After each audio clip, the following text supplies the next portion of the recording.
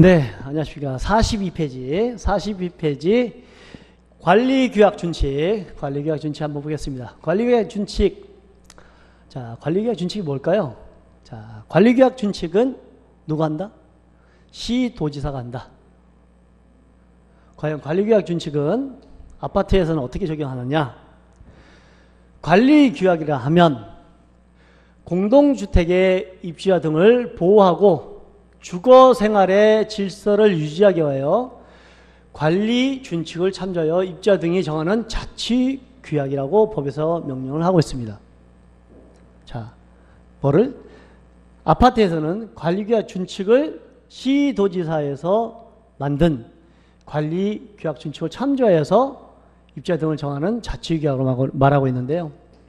자, 관리 규약 준칙을 다시 한번 보면 시도지사는 공동주택의 입주자 등을 보호하고 주거 생활의 질서를 유지하기 위하여 공동주택 관리 사용에 관한 준거가 되는 준칙을 정하여야 한다라고 이야기하고 있죠.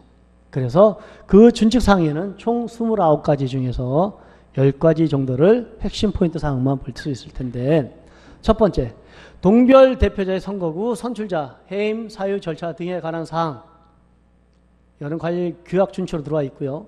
그 다음에 관리비 예치금 관리 운영에 관한 사항. 그 다음에 지문으로 많이 나오는 것. 장기선 충당금의 요율 및 사용 절차. 그렇지만 적립금에 대한 사항은 장기선 계획에 의해서 해야 한다.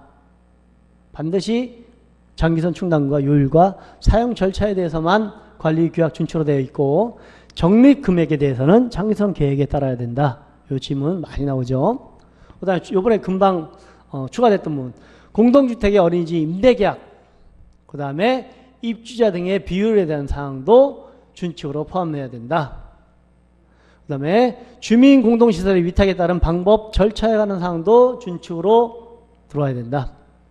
그 다음에 주민 공동시설을 인근 주민들에게 허용하는 방법에 대한 사항도 준칙으로 들어와야 되고 혼합 주택단지에 관리에 관한 사항도 준칙으로 들어야 되고 그 다음에 전자투표에 관한 사항도 관리규약으로 들어야 됩니다.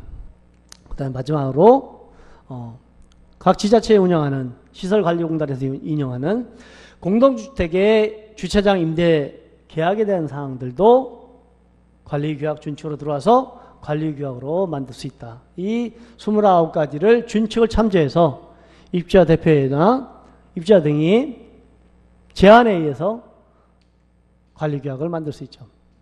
자, 첫 번째. 공동주택 관리규약 제정은 누가 하느냐? 제정. 최초 제정은 사업 주체가 제안을 하고 입주자 예정, 입주 예정자의 과반수로 제정을 합니다. 거기에 포함될 이번에 바뀌었던 사항이 뭐냐? 입주자 대표가 구성 전에는 어린이집 임대계약을 체험계약을 할수 있다는 내용. 입주 개시 3개월 전에 사업 주체와 입주 예정자 가반수가 어린이 임대 계약을 체결할 수 있다는 내용이 새로 이번에 개정된 상황이죠.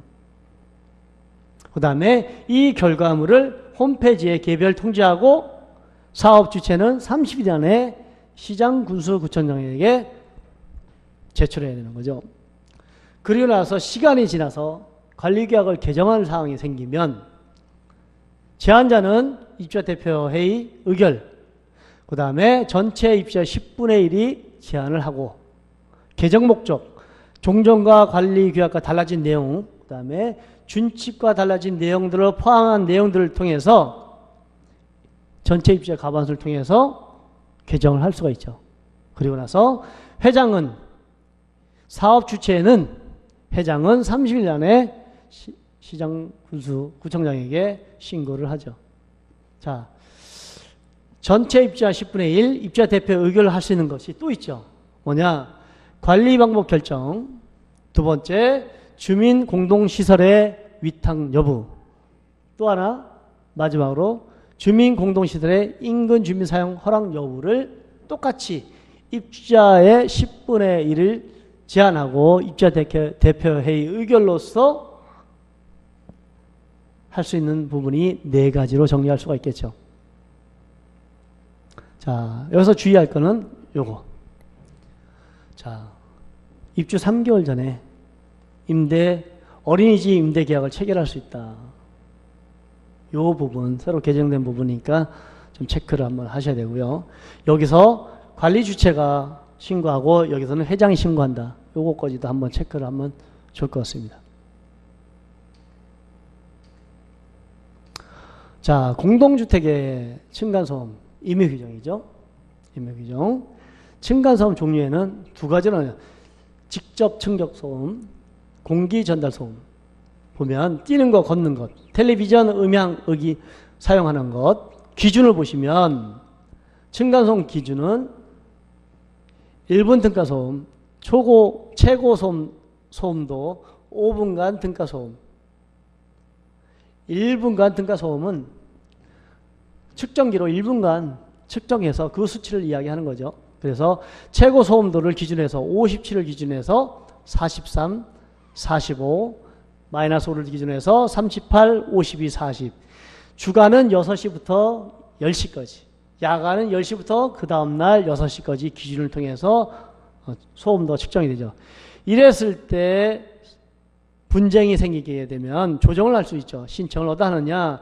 공동주택관리 분쟁조정위원회나 환경분쟁조정위원회에 이분들이 신청을 할 수 있죠.